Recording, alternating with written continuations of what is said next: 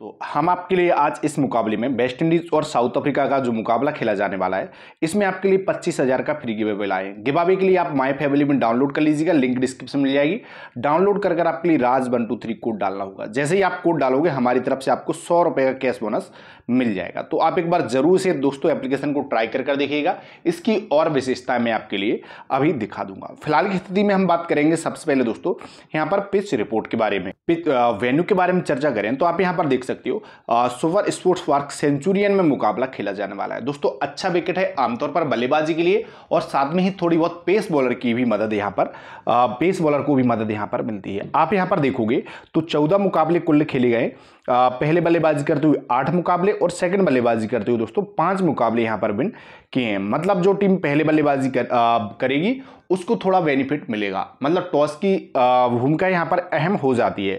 उसके बाद एवरेज आप यहाँ पर देखोगे 177 यहाँ पर एवरेज स्कोर निकल कर आता है। बात करें दोस्तों हाईएस्ट टोटल 241 जो कि साउथ अफ्रीका ने बनाए थे लोएस्ट टोटल भी सौ रन यहाँ पर साउथ अफ्रीका ने ही बनाया है। वेन स्कोरिंग पैटर्न के बारे में यदि चर्चा की जाए तो आप देखोगे 150 150 से नीचे तीन बार 150 169 दो बार, और 170 टू 189 तीन बार, और 190 एबब यहाँ पर चार बार बनाया है। तो आप अंदाज़ा लगा सकते हो 190 एबब से कि बल्लेबाजी के लिए अच्छी विकेट है। और साउथ अफ्रीका यदि पहले बल्लेबाजी करती है तो मैं डेफिनेटली बोल सकता हूँ 180 के आसपास स्कोर देखने को आपके लिए मिल जाएगा। अब वेन्यू पर हम जो रिसेंट कुछ मुकाबले खेले गए ना, वो यहाँ पर देख लेते हैं। तो आप देखोगे यहाँ पर साउथ अफ्रीका और पाकिस्तान के बीच मुकाबला खेला गया था, जिसमें साउथ अफ्रीका ने 144 बनाए थे 19 ओवर में, और पाकिस्तान ने उसे एक बनाकर चेस कर लिए थे। आप यहाँ पर देखोगे नौ चार तेरह विकेट पेस बॉलर को मिले थे, और स्पिनर को मात्र चार विकेट मिले थे, जबकि पाकिस्तान के पास क्वालिटी स्पिनर हैं।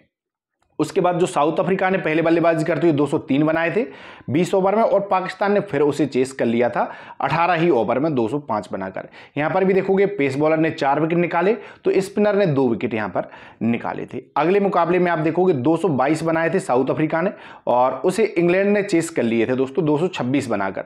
तो हाई स्कोरिंग मुकाबले तो इस वेन्यू पर हुए हैं। जी हाँ दोस्तों, हाई स्कोरिंग तो मुकाबले इस वेन्यू पर हुए हैं।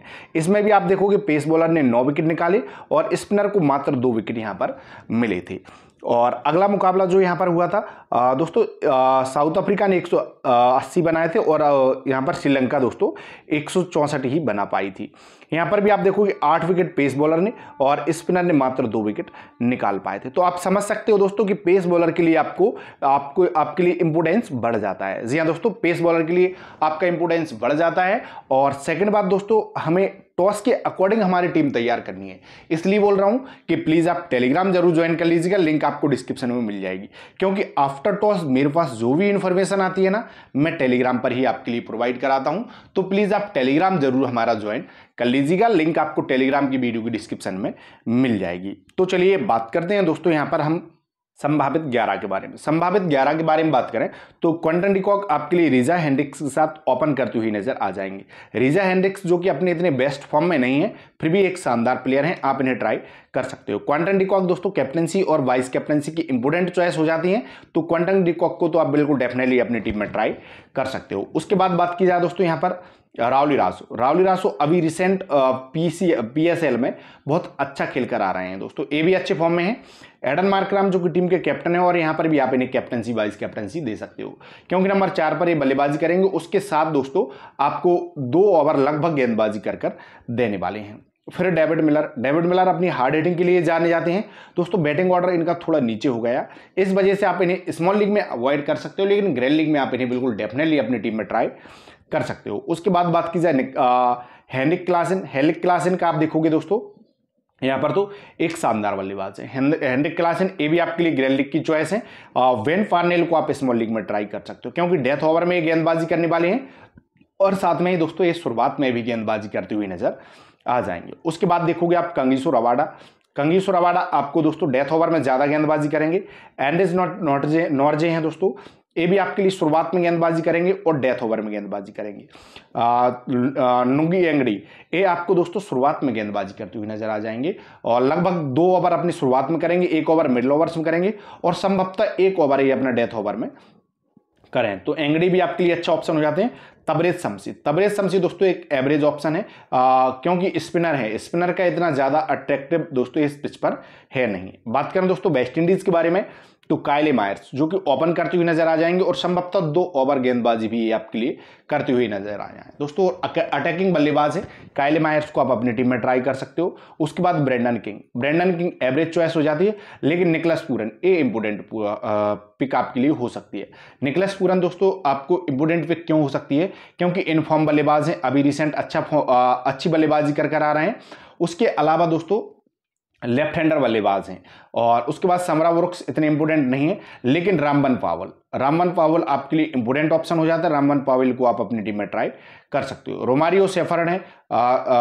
दोस्तों रायमन रेमारियो हैं और या उडन स्मिथ। एक कोई खेलता हुआ नज़र आ जाएगा, जो भी खेलेगा अपडेट मैं टेलीग्राम पर कर दूँगा। उसके बाद बात करें जेसन होल्डर है।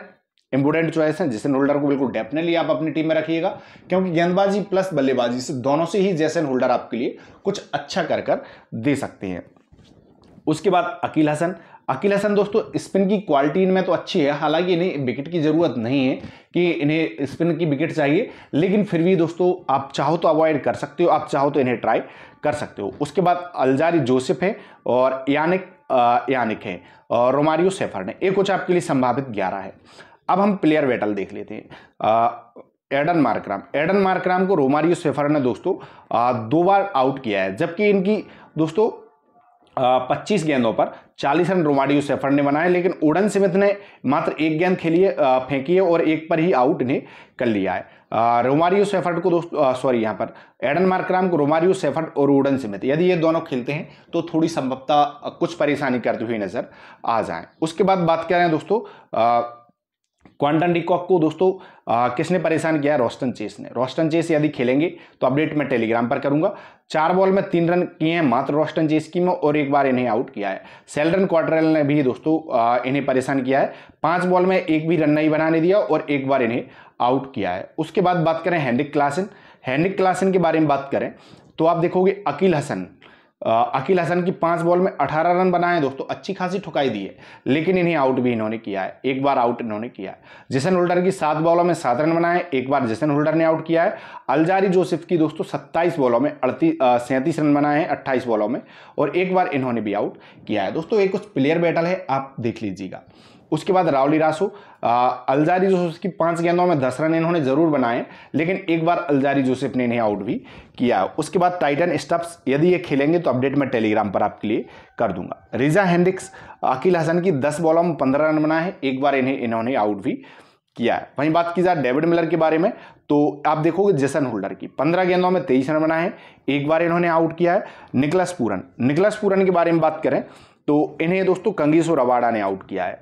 उनतालीस गेंदों में ज़्यादा रन भी नहीं कर पाए इकतीस रन किए और तीन बार रवाडा ने आउट किया है। रवाडा निकलस पूरन को परेशान कर सकते हो। उसके बाद एंड्रेस नॉटर्जी के बारे में बात करें तो तेरह गेंदों में सत्ताईस रन इन्होंने बनाए और एक बार किया इनकी तो अच्छी खासी इन्होंने ठुकाई की है। आ, फिर भी दोस्तों एंड्रेस नॉर्जे के पास जो पेस है ना आज के समय में वो पेस किसी के पास नहीं है। तो एंड्रेस नॉर्जे तो किसी को भी परेशान यहाँ पर। कर सकते हो। उसके बाद तबरेज शमसी की सैंतीस गेंदों में दोस्तों तीस रन बनाए और एक बार तबरेज शमसी ने आउट किया है। मतलब इन दोनों को तो ठीक ठाक खेल देते हैं, लेकिन कंगीसो रवाडा के साथ सामने इन्हें समस्या आने वाली है। तो आपको कंगीसो रवाडा के दोस्तों ओवर शुरुआत में ही रहेंगे हालाँकि एक आध ओवर तो लेकिन फिर भी आ, सामना तो करना पड़ेगा। कायले मायर्स बेन फार्नेल की एक बॉल पर आउट हुई हैं दोस्तों आ, एक बॉल ही इन्होंने खेली है। ब्रिजॉन फोर्टीन यदि खेलेंगे तो अपडेट मैं टेलीग्राम पर करूँगा। उसके बाद अकील हसन का देखोगे तबरेज शमसी के सामने दोस्तों थोड़ी सी इन्हें परेशानी आती है। तो चलिए बात करते हैं हमारी टीम के बारे में। सबसे पहले हम बात करेंगे दोस्तों माई फेवलियन के बारे में। यदि आपको लो एंट्री फ़ीस में ज़्यादा बिनिंग करनी है तो आप माई फेवलियन डाउनलोड कर लीजिएगा। लिंक आपको डिस्क्रिप्शन में मिल जाएगा। डाउनलोड कर Raj one, two three code डालना है। जैसे ही आप कोड डालोगे, सौ रुपये हमारी तरफ़ से कैश बोनस आ जाएगा। अब इसमें खेलने के क्या लाभ हैं दोस्तों? एक से दो मिनट में बैंक विड्रॉ मिल जाता है। उसके अलावा लो एंट्री फ़ीस है लो कंपटीशन है। तो आप एक बार ज़रूर से ट्राई कर कर देखिएगा। अब हम टीम के बारे में चर्चा करते हैं। विकेट कीपिंग सेक्शन में यदि आप देखोगे तो आपके पास दो ऑप्शन है। क्वांटन रिकॉक और दोस्तों निकलस पूरन। हैंडिक क्लासन है लेकिन नीचे बल्लेबाजी करेंगे तो इन्हें ग्रैंड लीग में आप ट्राई करिएगा स्मॉल लीग में आप इन्हें अवॉइड कर कर चल सकते हो। तो फ़िलहाल की स्थिति में दोस्तों मैं यहाँ पर आ, इन दोनों को अपनी टीम में ट्राई कर कर चलने वाला हूँ। अब हम बात करते हैं बल्लेबाजी सेक्शन के बारे में। रावली रासो शानदार ऑप्शन है डेफिनेटली इन्हें ट्राई कर सकते हो। ब्रेंडन किंग जो कि टॉप ऑर्डर में बल्लेबाजी करते हुए नज़र आ जाएँगे, लगभग ओपन ही करते हुए नज़र आ जाएँगे। लेकिन ओपन में दोस्तों, याद रखिएगा कि बॉलर भी इनको बहुत तगड़े ही मिलने वाले हैं। उसके बाद रामवन पावल।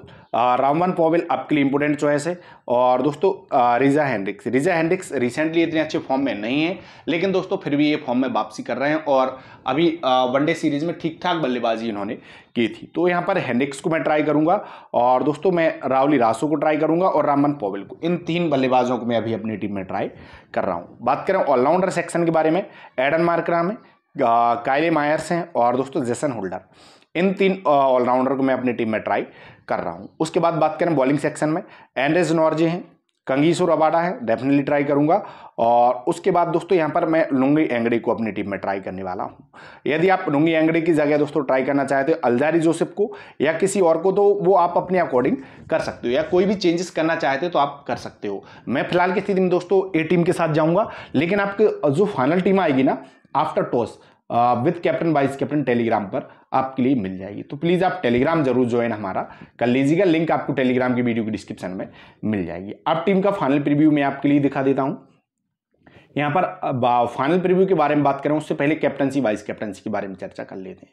तो आपके पास ऑप्शन है Aiden Markram Quinton de Kock Kyle Mayers. दोस्तों, तीन ऑप्शन हो गए। इसके अलावा यदि आप ट्राई करना चाहते हो तो रावली रासू। रावली रूसो आपके लिए चार ऑप्शन मैं अभी आपके लिए दे रहा हूँ। लेकिन जो फाइनल कैप्टन वाइस कैप्टन है, वो टेलीग्राम पर मिलेंगे। तो प्लीज़ आप टेलीग्राम ज़रूर ज्वाइन कर लीजिएगा।